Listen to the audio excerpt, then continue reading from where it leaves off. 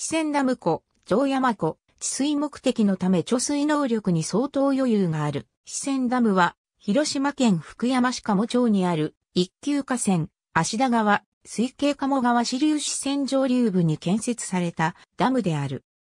広島県が施行した都道府県営ダムで、現在は広島県主川ダム管理事務所が管理を行う、包み高58.9メートルの重力式、コンクリートダムである。鴨川治水計画の一環として、洪水調節と不特定利水を目的とした補助治水ダムである。ダムによって形成された人造湖は、かつてダムのすぐ北側の絶壁上に存在し、毛利元就に攻略され消滅した宮市の居城市川滝山城にちなんで、城山湖と命名されている。芦田川水系鴨川の支流である四川の上流には、大正時代に建設された大谷地という灌漑用ダムがあったが、このダムには洪水を調節する機能がなかった。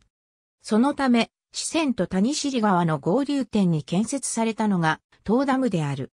河川の環境維持の目的と80年に一度の大洪水にも耐えられる洪水調節のためのダムとして建設されたものである。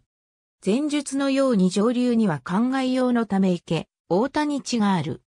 このダムの園庭は中国自然歩道のコースになっている。また、下流の俗根地区には小説家のイブセマスジの成果があり、大谷池からの四川沿いは、旧助のいる谷間、丹下指定、白髪といった作品の舞台となっている。ありがとうございます。